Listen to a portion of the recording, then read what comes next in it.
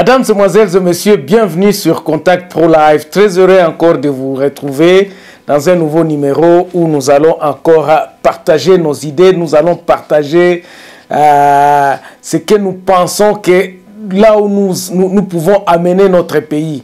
Contact Pro Live, comme je vous dis toujours, c'est un média de réflexion.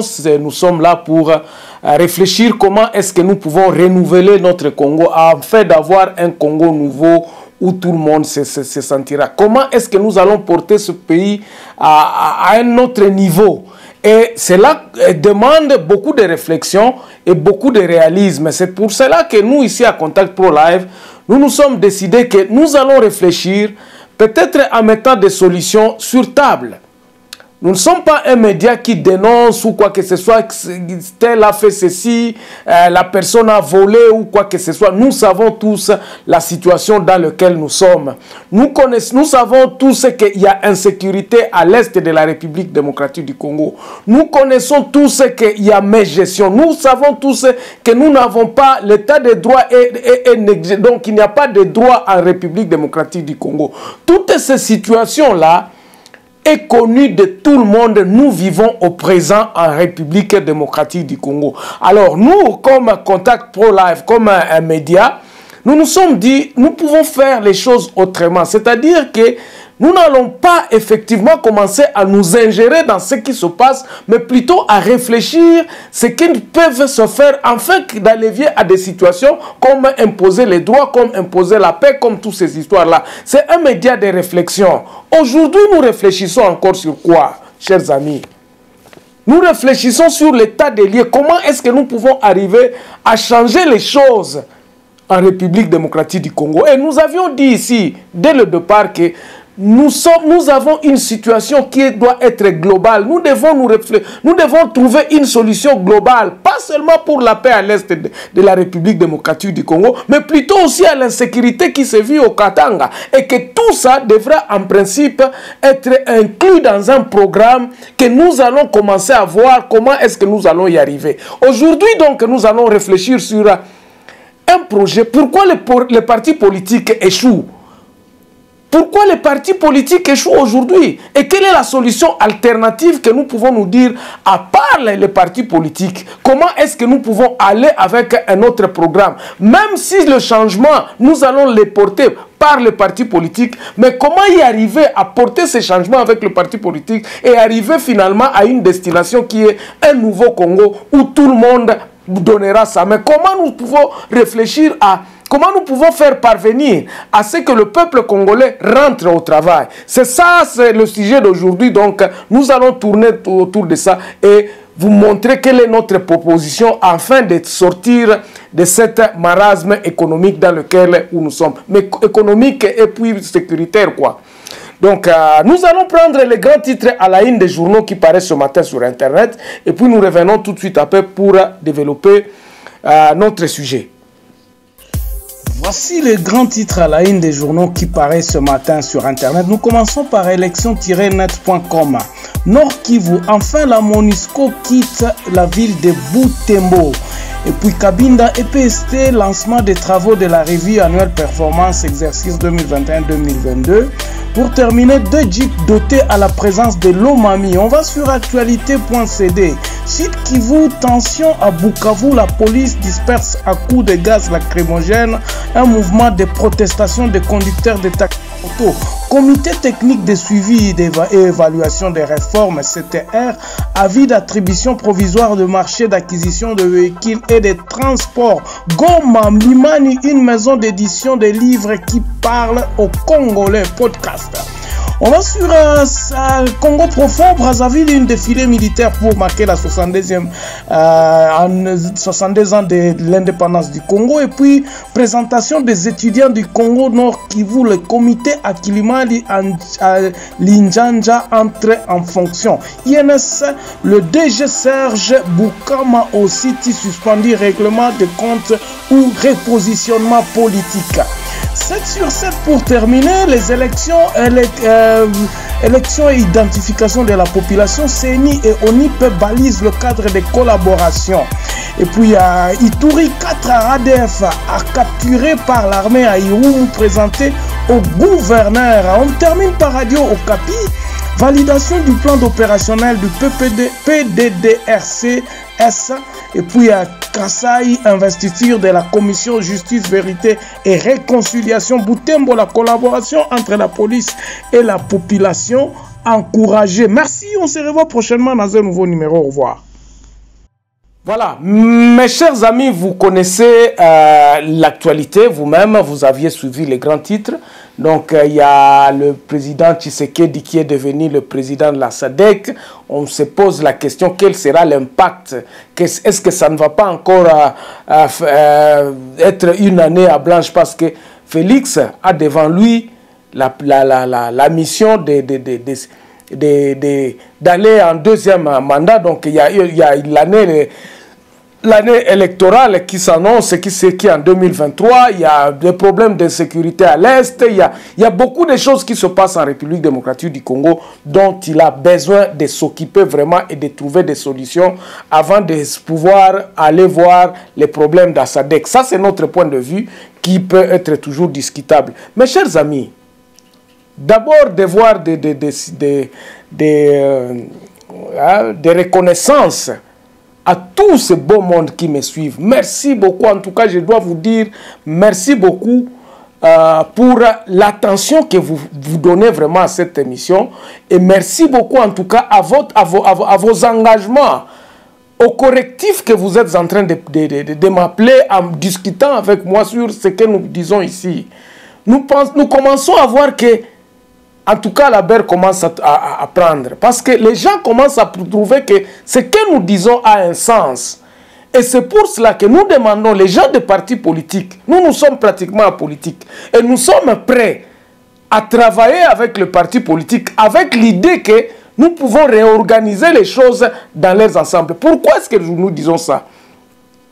Quelqu'un m'a donné, m'a posé la question de savoir, et posé la question de savoir qui de ces partis politiques ou bien de ces hommes politiques qui pensent vraiment que, ou qu'ils ont un discours qui peut convaincre euh, le peuple congolais pour qu'on puisse le voter en, en 2023 Ma question était, de, disons ma réponse, la question était claire. Qui de, de tous ces bons mondes-là que vous pensez qui peut être un bon président de la République? J'ai répondu ceci, et c'est ça le sujet même qui va nous préoccuper, je crois, cette semaine, parce que nous aurons encore une autre émission, je crois, le vendredi. Nous devons d'abord savoir où nous sommes. Nous devons faire l'état des lieux de notre pays. Notre pays traverse un moment très très difficile où il est difficile de dire qu'un homme sera insatiel ou bien un homme sera un homme providentiel qui viendra imposer quelque chose, quoi que ce soit, sur la République démocratique du Congo et tout le monde suivra. Affirmer cela, ça sera qu'un leurre. Nous allons nous tromper. Et c'est ce que nous sommes en train de nous dire. Toute cette cacophonie que nous connaissons aujourd'hui, que non, on a injurié le président de la République, c'est toute une cacophonie qui se, vit dans un monde où il n'y a ni loi, ni que, ni quoi que ce soit. Nous nous trouvons pratiquement comme dans une jungle où les autres s'imposent par le, le, finance. Il y a des gens, des, des, hommes qui viennent en vous disant que non, moi j'ai l'argent, nous allons faire ceci, moi j'ai fait ceci, moi j'ai fait ceci, moi j'ai beaucoup de diplômes, moi j'ai étudié ceci et tout ça. Et ils oublient de faire l'état des lieux de ce, de ce, de cette, de ce, de ce pays. Vous êtes en train de voir beaucoup de gens se poumonner à aller dans les provinces. Oh non, c'est nous, le, la partie politique, le parti politique de M. Tel et tout ça. On ne parle pas de programme. On fait adhérer tous les Congolais à leur, à leur, à, disons, à leur euh, initiateur, en leur disant que nous, nous serons bien que celui qui est là. Nous, nous ferons ceci pour que... On fait passer le message des hommes au lieu de, passer le message d'un programme qui pourra faire sortir le pays de ce marasme dans ce, pays. Je suivais vraiment attentivement les élections au Kenya. Je suivais comment est-ce que les, candidats se comportaient devant même les foules. Et nous avions suivi comment est-ce que ces hommes-là, bien qu'ils portaient une certaine idée, ont préparé vraiment à la loupe et comment est-ce qu'ils ils ont préparé leur victoire. Je ne dis pas qu'aujourd'hui, que le parti politique qui s'avertue à aller faire des, adhésions massives ou à faire campagne silencieuse, qu'ils sont en train de faire très, ils sont en train de taper à côté. Non, je ne dis pas cela. Je dis tout simplement que en les suivant de près, en regardant, même en posant la question à tous ces bons mondes-là, vous trouvez que ce qu'ils sont en train de faire, ce n'est qu'une campagne. Les gens ne savent pas exactement pourquoi ils, sont, ils adhèrent à ce parti politique. Il n'y a pas de programme. Ils ne montrent pas le Congo de demain. Et c'est là le grand problème que nous nous posons aujourd'hui. Parce que nous arriverons au pouvoir et commencer à réfléchir maintenant quoi faire. Nous devons maintenant, aujourd'hui, avec notre, nos, populations, bien nous, Congolais, de nous poser la question de savoir où sommes-nous exactement et quel est le problème qui se pose, qui se, qui se fait que, à ce que nous ne puissions pas avancer. Quel c'est que nous pouvons faire en ce que nous puissions décanter cette situation? Ce sont là les questions que nous devons nous poser et pas dire que non, moi c'est l'homme présidentiel, moi. Nous faisons euh, passer les hommes avant toutes choses. Et nous, nous nous disons ceci à Contact Pro Life. Il est grand temps à ce que nous puissions remettre les choses à, donc, à réfléchir comment est-ce que nous allons nous faire sortir. Et c'est très, très crucial ce que je suis en train de dire ici. Parce que vous allez trouver, on dit, non, docteur Mukwege, oh non, eh, Matata, oh Fayoul, oh tout ça. On parle des hommes. Mais lorsque vous interrogez ces hommes-là, vous trouvez que ces hommes-là n'ont pas de... ils sont peut-être des coquilles vides. Ce sont des personnalités, bien sûr, mais nous devons savoir, est-ce que ces hommes ont-ils analysé vraiment le grand problème du Congo? Et c'est là où vous vous retrouvez que le président de la République aujourd'hui, bien que nous avons un problème sérieux à l'est de l'insécurité, il n'a pas, il, il, il, est là comme s'il est l'homme seul. Il se bat seul pour trouver une solution. Et ce n'est pas bien. Ce n'est pas ça. Or, la question de l'Est devrait être une question nationale en se disant c'est notre pays qui est, qui, est, qui est menacé, c'est nous tous. Donc quand le, pied est touché, c'est la main qui a, qui, a, qui a, qui a mal, c'est l'œil qui a mal, c'est la tête qui fait mal. ça devrait être un ensemble. Tout ça arrive pourquoi? Parce qu'il n'y a pas de programme. Nous n'avons pas fait voir où est-ce que nous allons amener le Congo de demain. Lorsque nous arrivons au pouvoir, nous ne voulons pas faire voir qu'est-ce que, comment est-ce que nous allons remettre les choses à, à marcher? Vous allez voir aujourd'hui, c'est le président de la République qui, est partout. Donc c'est le président de la République qui fait ses routes. Ce n'est plus les gens, ce n'est plus d'autres personnes. Il n'y a que lui seul. Il n'y a que lui seul. Le seul à, avoir réalisé, à construire les routes, à avoir... Tout, donc le pays lui appartient. Nous, nous ne sommes que des valets. Et tout le monde, les gouvernements supportent cette vision, supportent cet homme. Et c'est lui seul qui doit dire. Et là, se transforme dans les, les institutions où même l'office de route attend que le président de la République fasse quelque chose pour que l'office de route puisse fonctionner. Voyez là où se trouve le problème. Et les partis politiques ne réfléchissent pas à ça de, cette façon-là. Ils réfléchissent en termes de personnes. Nous allons conquérir le pouvoir. Le pouvoir de demain, c'est pour nous. Nous allons conquérir. Nous sommes en train... Pourquoi ils envient aussi de travailler dans cette cacophonie afin de se remplir les poches? C'est ça le problème qui est le, plus crucial. Mais maintenant, comment est-ce que nous pouvons en sortir de là? Quel est le problème que nous devons faire face à? Comment est-ce que nous allons attaquer les taureaux par les cornes? C'est ici où Contact Pro Live, nous nous disons, nous devons réfléchir et nous proposons des solutions.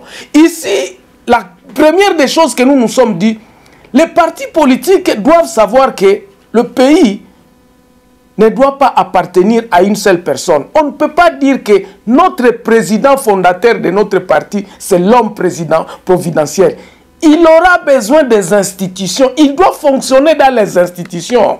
L'erreur que le président Félix est en train de commettre aujourd'hui, ce n'est pas faire euh, fonctionner les, les, institutions du pays. On doit redynamiser, on doit remettre le travail aux institutions, afin que les institutions puissent travailler.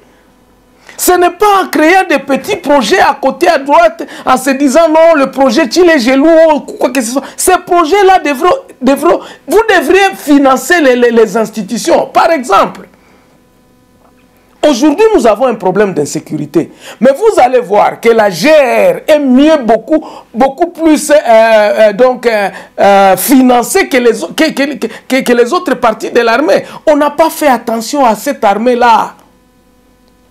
Il y a d'autres politiciens qui se disent que non, il faut donner beaucoup d'argent à, à, l'armée, tout ça. Mais vous allez donner, comment est-ce que vous organisez votre armée? Même si nous avons des milliards, des milliards, mais si c'est dans des caisses poreuses comme ça, est-ce que ça va donner la peine? La réforme doit commencer. Et c'est tout ça que nous disions que non.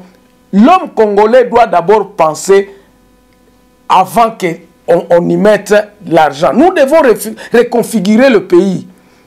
L'erreur aujourd'hui que le Félix est en train de commettre, ce n'est pas c'est celui de ne pas euh, faire fonctionner les, institutions légales du pays. On fait des projets pour dire que non, bon, nous allons faire ceci et l'État est, laissé à côté. C'est ça que j'ai dit. Il faut faire fonctionner l'État. Il faut que l'autorité de l'État puisse être fonctionnelle encore une fois de plus. Et mais comment allons-nous y arriver maintenant? C'est là où nous nous sommes dit, nous devons proclamer un nouveau Congo en, réalisant que là où nous sommes, nous avons vraiment échoué.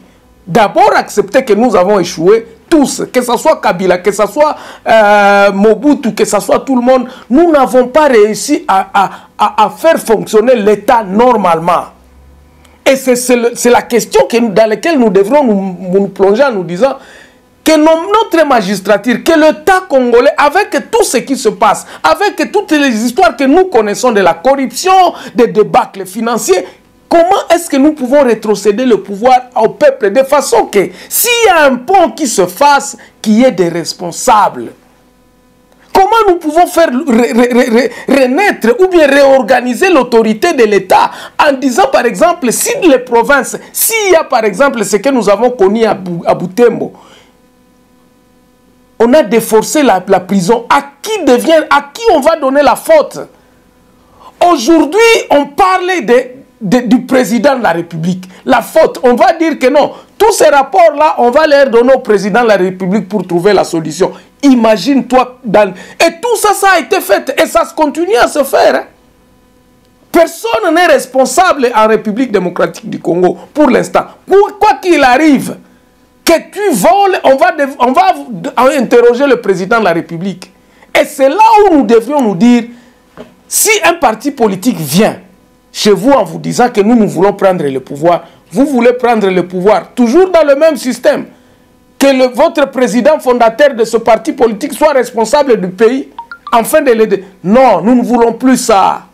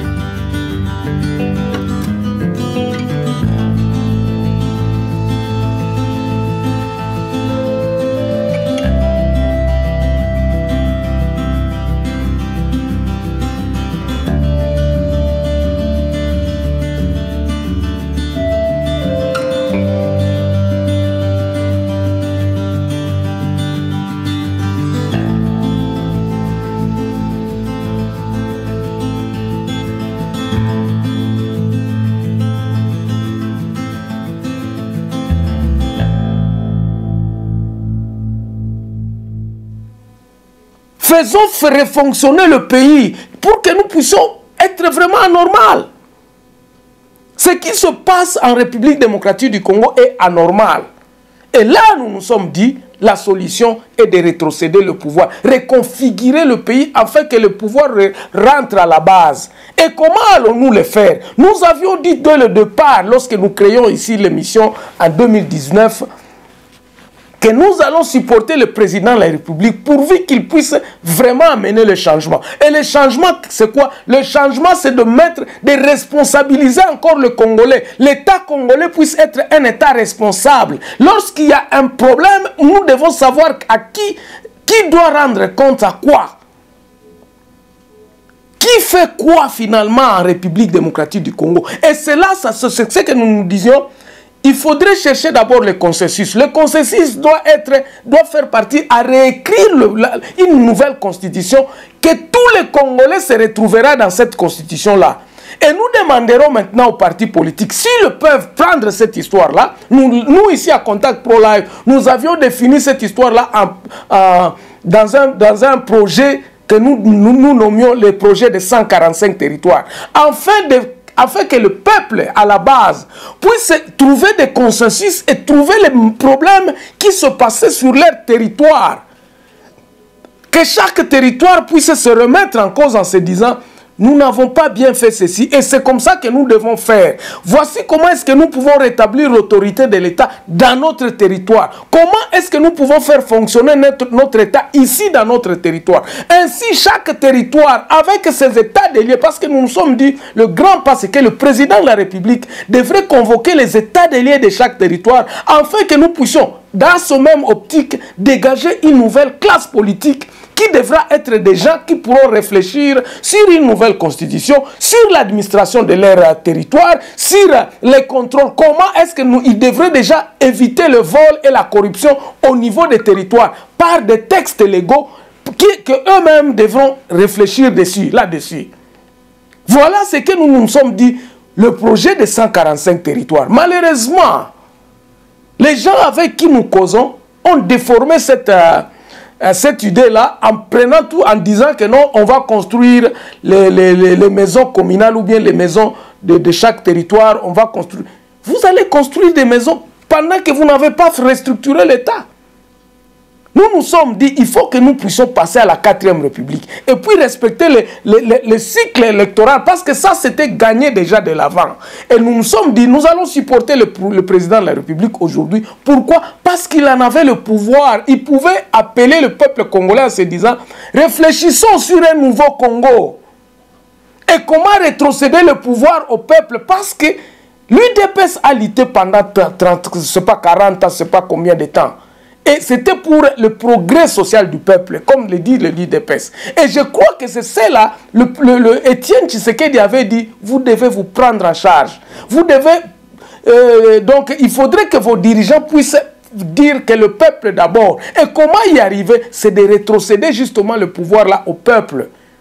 Ce n'était pas de s'acheter le, Mercedes ou bien de faire comme tous les autres le faisaient. Et je crois que c'est là où il y a une certaine cassure et que les gens ont vu que l'échec de, de, de, se trouvait là-dessus. Parce que le pouvoir aujourd'hui n'appartient plus n'appartient pas au peuple. L'UDPS ne fait aucun effort à ce qu'il puisse rétrocéder le pouvoir au peuple. Mais il continue justement à faire ce que les autres faisaient. Et les autres maintenant, qui pensaient qu'avec l'UDPS, l'avènement de l'UDPS au pouvoir devrait euh, amener quelque chose, ils n'ont rien, ils n'ont, pas, ils n'ont rien vu. C'est ainsi qu'on s'est dit, bon, ok, nous devons encore euh, assister. Imaginez-vous si le président de la République venait en se disant, voici là où nous avons trouvé le pays et que nous devons rétro rétrocéder le pouvoir au peuple. Nous devons apprendre au, pe au peuple de se, de se, prendre en charge. Donc, rétrocéder le pouvoir au peuple, ça devrait être une certaine autre configuration de préparation. On devrait d'abord préparer, et même chronologiquement, les événements. C'est ce que je suis en train de dire même aux gens d'autres partis politiques ici. De de dire que non, vous devez mettre des structures en place pour que le problème viendra, vous saurez comment le, résoudre. Quand vous serez au pouvoir, vous saurez comment est-ce qu'on on, on, va, on, va, on va faire. L'exemple du président élu Kenya aujourd'hui, il vous dit qu'il a tout un plat même chronologiquement, il vous dit que dans les 100 jours, voici les objectifs qu'il doit atteindre. Donc, il ne, il ne réfléchit, comme il est là, il ne, fera qu'appliquer ce qu'il a déjà, déjà étudié, les difficultés et les, pour de tout ce qu'il a imaginé comme plan de sortie du Kenya euh, avec dans la, la situation dans laquelle il la trouve.